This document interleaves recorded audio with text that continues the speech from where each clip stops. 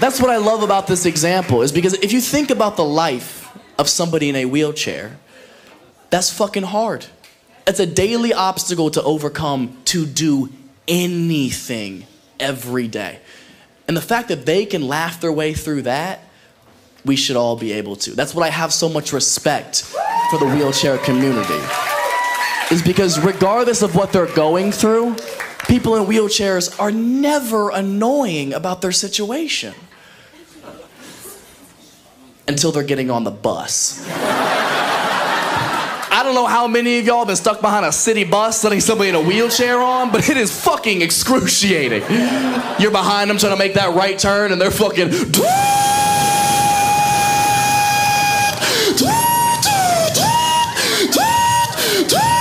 Put this motherfucker on the bike rack and let's go! That is the only time I have ever lost my patience on a handicapped person is when they're fucking up traffic, okay? Other than that, they're angels. I was working on this joke when it was like brand new about like eight weeks ago, right? I was, I was in Arizona, so I'm working on it. I'm trying to make it the best it can be, and I can see out of the corner of my eye front row, left side of the stage, is a young woman in a wheelchair. And I can see out of my peripheral vision, she's laughing her ass off. She, I'm serious, this girl is, she's slapping her knee. She can't feel it, but she's slapping her knee. Like, this bitch is rolling, you know what I mean? She's fucking, ah. ah you know how they be laughing? Ah. ah. Handicapped people laugh like they're getting good head. Just, ah. ah. she's, she's so obviously having a great time, right? So when the joke was over, it, it, dawned on me that I had a very unique opportunity to get an inside perspective on this material. And, and in order for a joke like this to work, it, it has to be funnier than it is offensive. And again, I want it to be. I never want to hurt anybody's feelings. It's, it's just jokes, man. It's, it's as simple as that to me. But I'm always open to conversation. So when the joke was over, I asked her, I was like, out of curiosity, was anything I said in that joke offensive? And still laughing, this woman says, no, no, no, no. It was, it was so fucking funny. And, and I want to thank you for including me. I had never,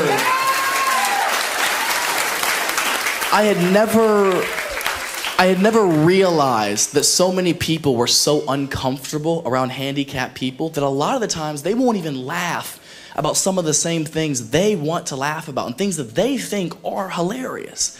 So getting that confirmation is what gave me all the confidence I needed to know that these jokes are okay to tell and we are allowed to laugh at them, you know? Her and I her and I were on the same page the whole time. We both know that's what you do to vegetables. You roast them.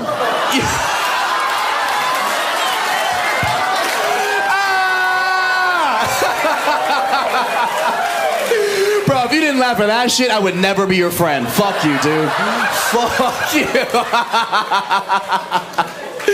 Bro, then I fucked her. That's the crazy thing. It was after the show. Hey!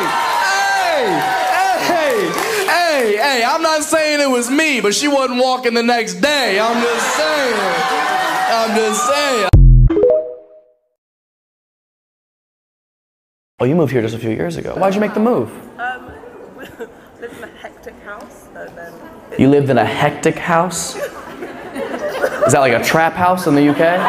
Um, what is a hectic house? Um, I don't know. It was basically just a house share, but like the landlord didn't know who was in there. There was. It was a house share, but the landlord didn't know who was it. You were squatting. you were in somebody else's house and they didn't know you were in there.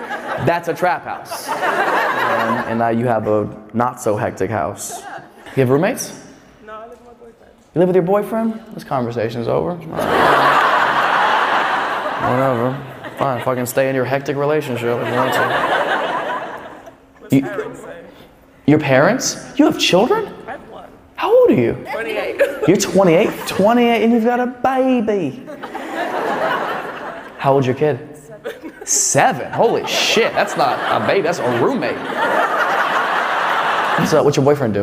Um, he at the moment is stay-at-home dad. Doesn't have a job. Got it. So, what are you doing to provide for this entire family? I'm very hoarse today, but um, and I just started DJing. You're a singer and you DJ. That's so cool. I've, oh man, I've always. Fuck, I wish I could sing. I'd never tell another joke for as long as I lived. The acoustics in here are pretty good.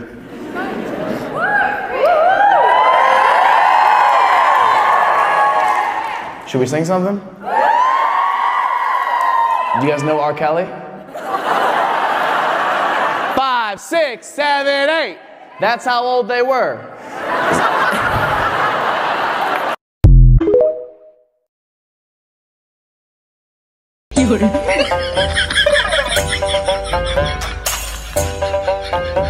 What you watching over there, bro? Somebody's breaking in my car. okay? You said somebody's breaking into your car? Where they at? Bro, I'll go beat their ass right now. I swear to God. You get like a, a notification on your phone? Yeah, it said something. Set. What's that? Said something set my alarm. Something set the alarm? Are you parked outside? Yeah. You want to go check? Do, oh, do you have the Sentry uh, cameras? Can you turn them on? Yeah. That's what he was watching. Uh, Is somebody out there? to see if the, what they was in my car. What? What's it looking like? Can you imagine we roll out there with 300 people and it's like, hey, hey, pop the front. Uh, what, what model Tesla you have? You have the what? You like? I have the three. You like it? Sometimes I get reminded how well my life is actually going. Because like two months ago, I was I was in LA and I was driving on the freeway and I, I was in the driver's seat and, and Alex, who was up here before me, was in the passenger seat. He's like, "How you feel, man?" I was like, "I don't know, man. Things just sometimes things just don't really really be going the way that you hope they're going." And you know, like what if what if this kind of spike in my career just kind of like a flash in the pan? You can't make it last or whatever. And he was like, "You realize you haven't touched the steering wheel the whole time?" I was like, I guess it's going all right. I guess it'll be all right. Yeah, just getting driven around. and then he topped me off, dude. It was fire. no hands, you know. You a cop? Really? Yeah, the mustache. That makes sense. So you were actually totally okay with the amount of black people that were here.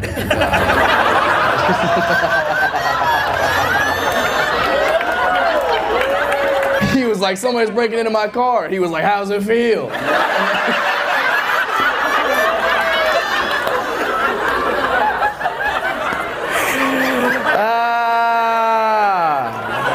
Shots fired. How's it feel?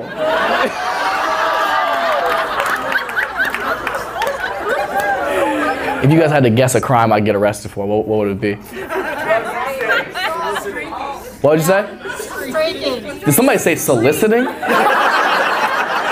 who, who said that? That's prostitution? Come on, get rid of that law, man. Come on. But what's funny is you can do it for free.